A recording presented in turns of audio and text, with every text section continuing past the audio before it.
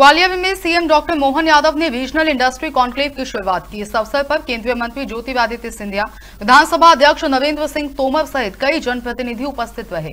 Conclave में अडानी और Ambani group ने मध्य प्रदेश में 4,570 करोड़ रुपए के निवेश की घोषणा की है। इसी के साथ साथ गोदरेज ग्रुप भी साढ़े करोड़ रुपए का निवेश करेगा। मुख्यमंत्री ने रीजनल इंडस्ट्री कॉन्क्लेव में एक हज़ार करोड़ के निवेश की, सैतालीस इकाइयों का वर्चुअली भूमि पूजन और लोकार्पण किया। इनसे लगभग चार रोज़गार के अवसर सृजित होंगे।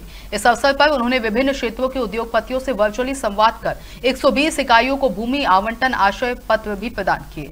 कार्यक्रम में Gwalior smart city development corporation limited द्वारा निर्मित जय विलास प्रवेश द्वार का लोकार्पण भी किया गया। इससे पहले मुख्यमंत्री ने ज्योतिरादित्य सिंधिया के साथ लोक सेवा के लिए समर्पित एवं नावी शक्ति की प्रतिमूर्ति राजमाता विजया सिंधिया की प्रतिमा पर माल्यार्पण कर नमन किया।